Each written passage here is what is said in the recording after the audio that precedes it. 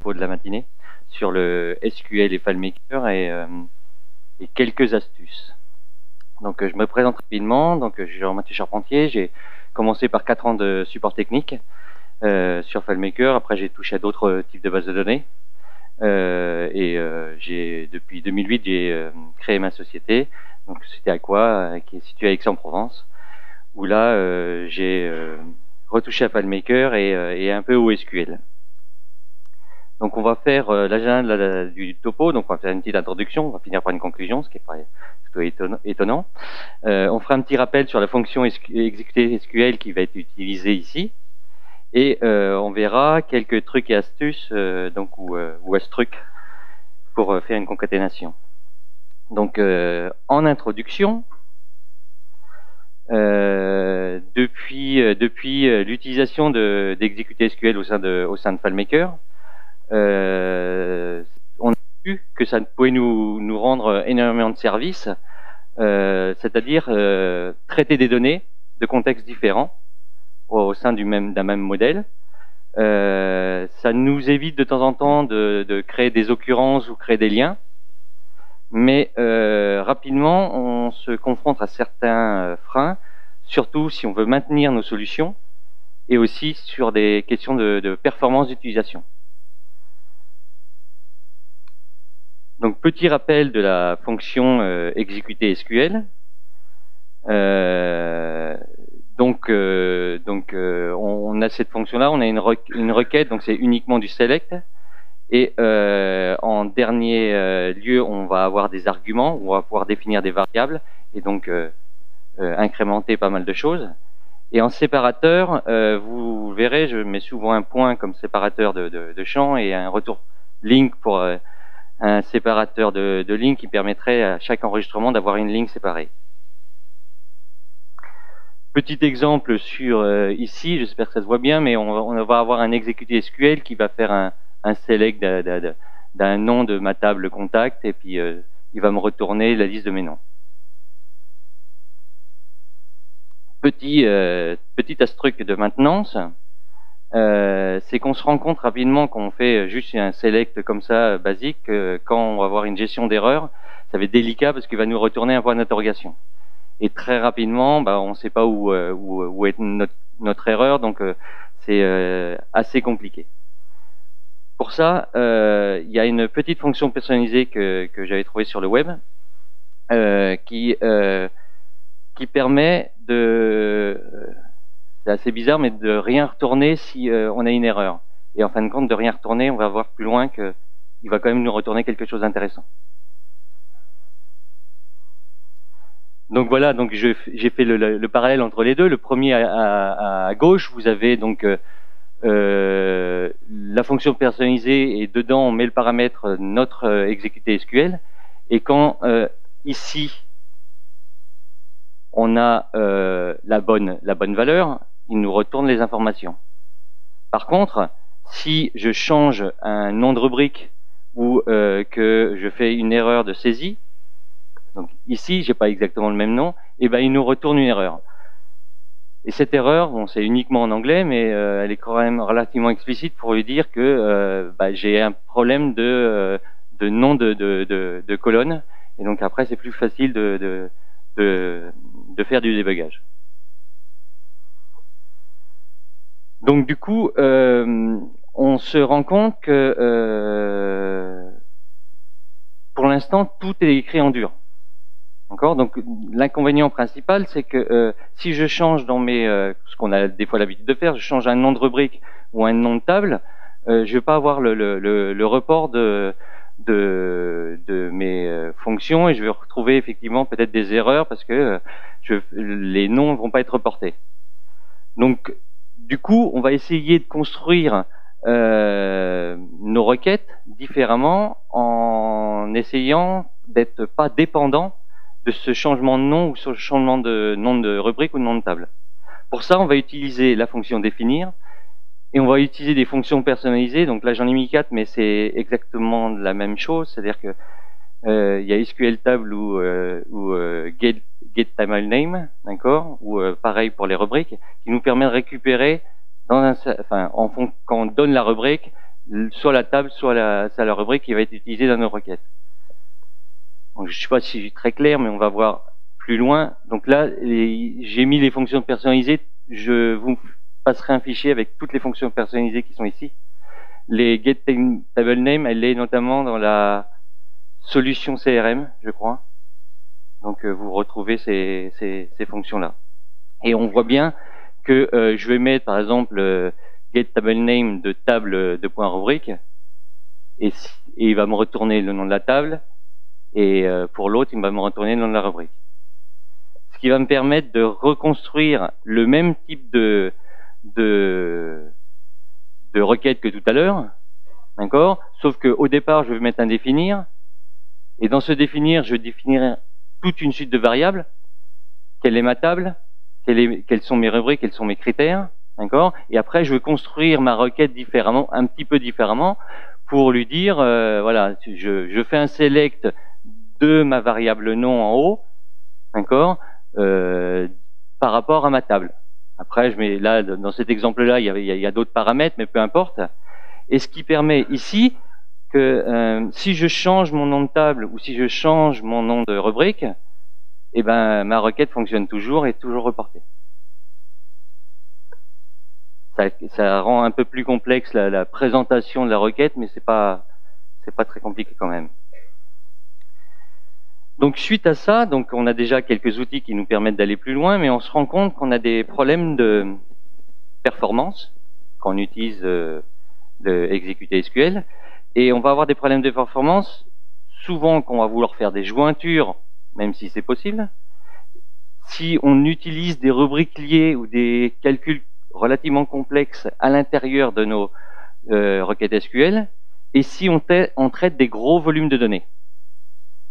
Donc à partir de ce constat, on va, on va penser optimisation et on va essayer de réfléchir autrement euh, pour qu'on ait besoin de, faire cette euh, euh, faire les requêtes qu'on a besoin. Donc du coup, euh, j'ai un petit peu réfléchi. Je me suis dit bon, pour que ça soit performant, je vais essayer de traiter des, je vais essayer de restreindre les données que j'ai besoin de traiter. Je vais essayer de créer des rubriques, enfin utiliser des rubriques les plus simples possibles.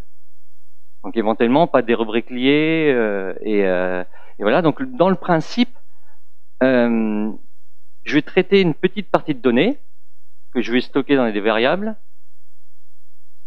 qui va me permettre de réutiliser ce qui, ce qui me retourne euh, soit dans une autre requête, soit dans une autre, euh, soit euh, en affichage directement. Et, et le résultat de tout, tout mon traitement, euh, je vais l'afficher sur un, un, certain format qui sera toujours le même, ce qui me permettra après facilement de récupérer, donc c'était une valeur structurée, qui va me permettre de facilement récupérer euh, la valeur 1, la valeur 2, ainsi de suite. D'accord? Donc je vais essayer de vous montrer à partir d'un exemple. Donc euh, euh là, j'ai pas tous les tableaux de bord, mais on avait un client qui avait euh, de plus en plus de tableaux de bord parce que je lui ai montré qu'avec SQL, on pouvait euh, créer des graphiques un peu comme on veut dans n'importe quel contexte. Et on en a mis sur 5, 5 tableaux de bord, on avait à peu près de 5 à 10 graphiques comme ceci sur chaque tableau de bord, et ça devenait euh, assez lent. Donc on a repensé, euh, on a repensé tout ça. Donc dans ma réflexion, je me suis rendu compte que euh, la plupart des tableaux de bord, c'était je veux connaître mon chiffre d'affaires de l'année par rapport à mes agences, par rapport à mes commerciaux, par rapport à plein de, plein de critères, mes produits, ainsi de suite. Donc je me suis dit, je vais me mettre dans un contexte limité, c'est-à-dire que je crée une table moi avec 12 enregistrements. Donc là, c'est limité, j'ai toujours 12 enregistrements. Je vais euh, construire un script qui va me construire toute une suite de variables de résultats. Cette variable de résultats, à la fin, je vais la traiter en, en données structurées. Et après, je vais me créer une fonction qui va pouvoir me récupérer la première valeur, la deuxième valeur, ainsi de suite. Et ce qui va, euh, ce qui va me, me normalement gagner énormément en performance. Donc euh, euh, voilà le, le, le, le, script que j'ai euh, fait ici. Je vais vous l'expliquer un petit peu. C'est que bon, au début, peu importe, c'est je remets à zéro mes variables.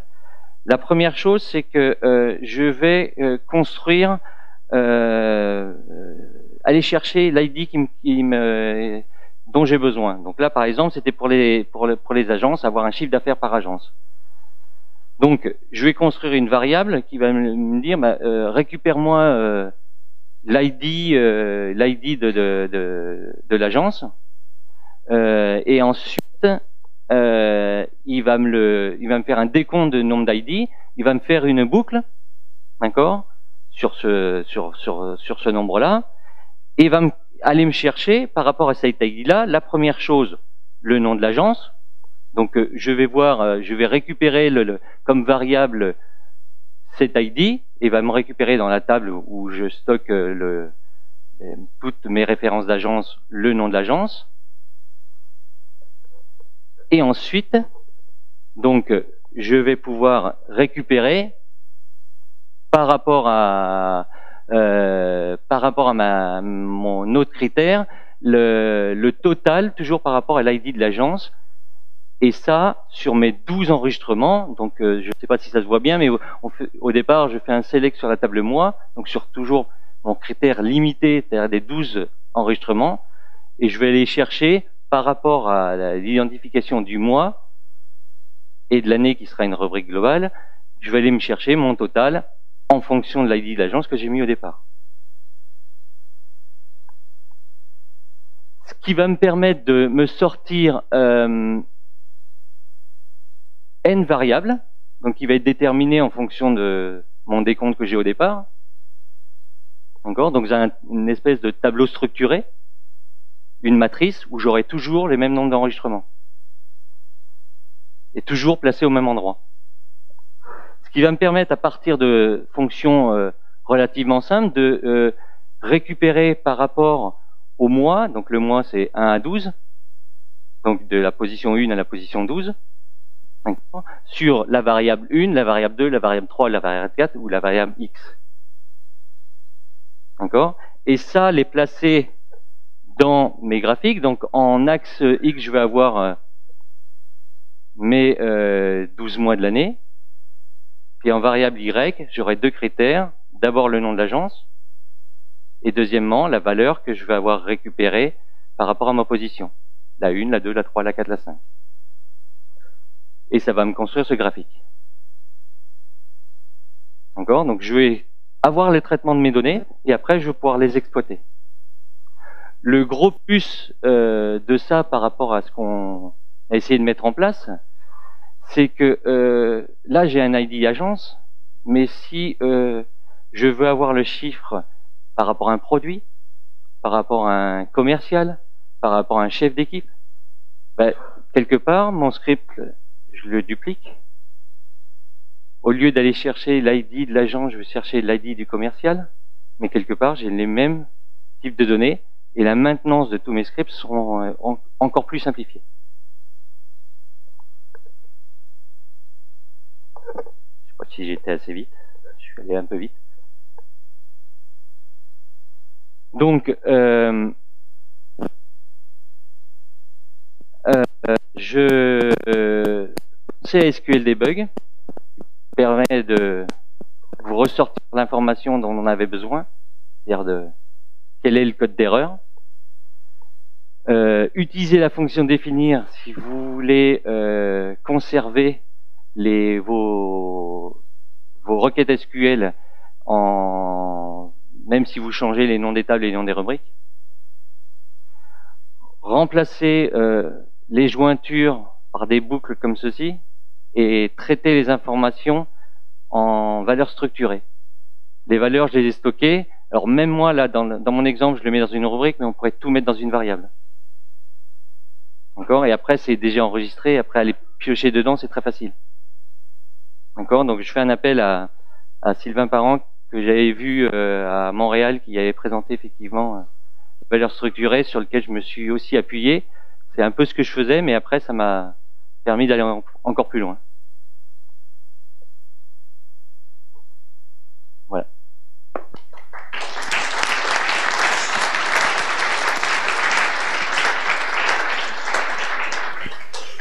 Merci beaucoup, c'était super. Euh, moi, je sais pas si c'est vraiment une question, mais peut-être juste partager une petite expérience en particulier par rapport à cette, problématique des, noms de rubriques et des noms de tables qui peuvent changer et puis qu'on n'ait pas besoin de, maintenir effectivement euh, à chaque fois de revoir ces formules. Donc ça, pardon, c'est quelque chose que j'ai aussi un petit peu expérimenté. Mais je me suis aperçu, en fin de compte, j'avais fait une petite erreur de, concept. Puis je sais pas, j'ai pas vu assez longtemps la formule ici. Moi, je recommande d'utiliser euh, la, la, fonction de FileMaker native, qui est donc euh, euh obtenir non rubrique, qui retourne oui. du texte. Parce qu'au départ, c'est pas ce que j'ai fait. Puis le problème qu'on se retrouve, c'est que parfois, on, si on veut inclure la requête SQL dans, dans une calculation, dans une rubrique calculée, euh, on peut pas référencer un nom de rubrique qui n'est pas relié dans le schéma des liens. Mm. Donc parfois, c'est sympa de dire, on, on, récupère juste le nom de rubrique.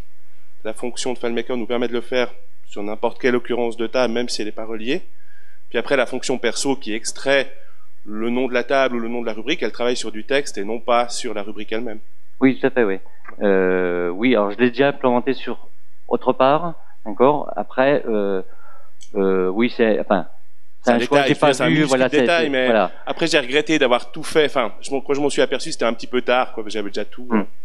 Après, c'est plus facile à maintenir par euh, une tierce personne, c'est truc-là que l'autre. Donc après, c'est juste un choix, mais il euh, n'y a pas de problème de performance effectivement. Mmh. Mais je l'ai déjà fait effectivement comme ça aussi. Ok, merci. Oui, bonjour. Est-ce que tu as réussi à t'affranchir ton script dans le pré-traitement de tes données? J'entends par là que là c'est facile parce que c'est finalement des données assez stables dans le temps, donc facile de faire des stats et de sortir des données. Est-ce que tu as été confronté à des données qui sont qui peuvent changer d'une minute à l'autre et donc pour lequel le pré-traitement par script est difficile parce que Alors, les données ne seront pas actualisées. Donc oui. est-ce que tu as mis en place des tables Alors, justement Oui, par enfin, non, parce que dans ces tableaux de bord, le tableau de bord euh, on le demande à un certain moment. D'accord? Moi, dans la volonté qu'on avait là, c'est de, euh, euh, pour ce client-là, qui a plusieurs, euh, euh, c'est une holding et il y a plusieurs, euh, plusieurs filiales, et ces plusieurs filiales sont indépendantes. Donc la volonté, nous, c'était de, traiter ces tableaux de bord complètement comme un outil à part, qui sera plus facilement maintenable et déportable. Et donc, du coup, passer par ces, scripts-là, mais euh, on les demande à un moment donné, les tableaux de bord, et euh, on n'a pas un besoin quelque part de temps réel. C'est-à-dire que quand vous avez fait la modification, forcément, quand je vais revenir dessus, euh, il va être obligé de recalculer s'il y a une modification. C'est pas ça la question? Mais tu, tu, génères, tu génères pas les scripts à la volée, enfin tu lances pas les scripts à la volée quand tu arrives sur la page. Il y, a, il y en a, il y en a un où euh, je fais un déclencheur qui va, qui va le lancer euh, quand on va arriver dessus s'il y a une modification. Oui. D'accord, mais jamais le pré-traitement de tes données par calcul. Non. Est-ce qu'on retrouverait, retrouverait la même problème On pourrait faire ça par exemple sur des scripts serveurs, on pourrait avoir ce type d'information. D'accord.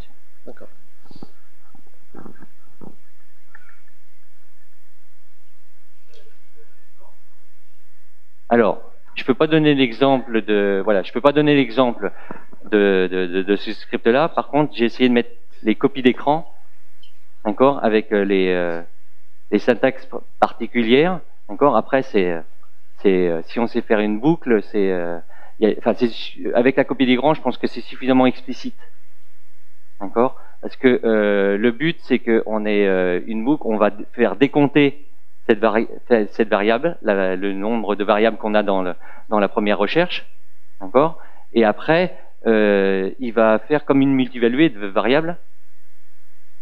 Et après, c'est juste les requêtes que vous avez besoin de, de, de mettre dedans, mais c'est pas très compliqué.